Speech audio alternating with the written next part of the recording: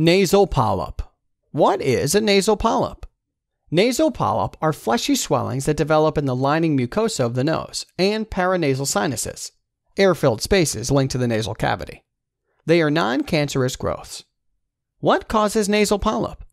The mucosa is a very wet layer that helps protect the inside of your nose and sinuses and humidifies the air you breathe. During an infection or allergy induced irritation, the nasal mucosa becomes swollen and red. With prolonged irritation, the mucosa may form a polyp. A polyp is a round growth, like a small cyst, that can block nasal passages. Although some people can develop polyps with no previous nasal problems, there's often a trigger for developing polyps. These triggers include A. Chronic or recurring sinus infections, B. Asthma, C. Allergic rhinitis. What are the symptoms of nasal polyp? Polyps can grow large enough to block your nasal passages, resulting in chronic congestion. Symptoms can include 1. Nasal congestion, a sensation that your nose is blocked. 2. Runny nose. 3. Postnasal drip, which is when excess mucus runs down the back of your throat. 4. Reduced sense of smell. 5. Breathing through your mouth. 6. A feeling of pressure in your forehead or face. What are the major types of nasal polyp? There are two major types of nasal polyp. 1. Antrochoanal, single, unilateral, originate from maxillary sinus, usually found in children. Infections is the common cause. 2. Ethmoidal, bilateral, originate from ethmoid sinuses, usually found in adults.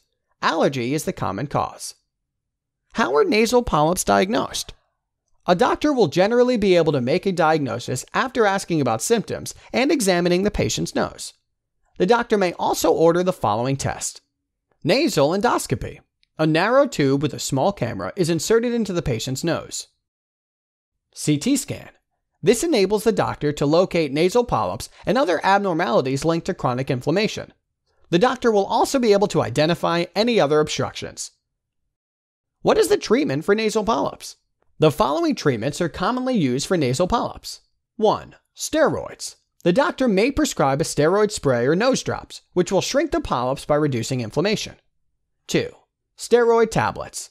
In cases of larger polyps or more severe inflammation, the patient may be prescribed steroid tablets. 3. Other medications. Other medications may be given to treat conditions that are making the inflammation worse. Examples include antihistamines for allergies, antibiotics for bacterial infections, and antifungal drugs for fungal allergies. 4.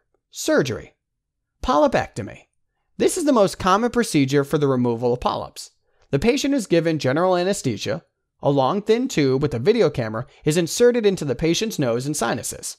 Polyps are then cut out using micro telescope to visualize it and surgical instruments to cut it.